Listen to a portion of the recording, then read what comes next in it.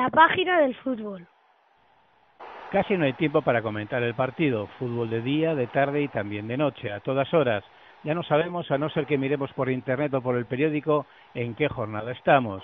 Hay partidos como el Alavés Deportivo del pasado lunes que pasan de tapadillo para la mayoría de los aficionados y el personal mediático solo se queda con el resultado de los equipos denominados grandes y con su anécdota, su patada o su mano y no con el fútbol que practican. Los niños quieren ser futbolistas de mayores, pero apenas aguantan 90 minutos delante de la pantalla de televisión. Salvo excepciones, prefieren ver las repeticiones de los goles en sus redes sociales preferidas. Nos gusta el fútbol, pero que no sature. La página del fútbol. Defiende el fútbol que te gusta.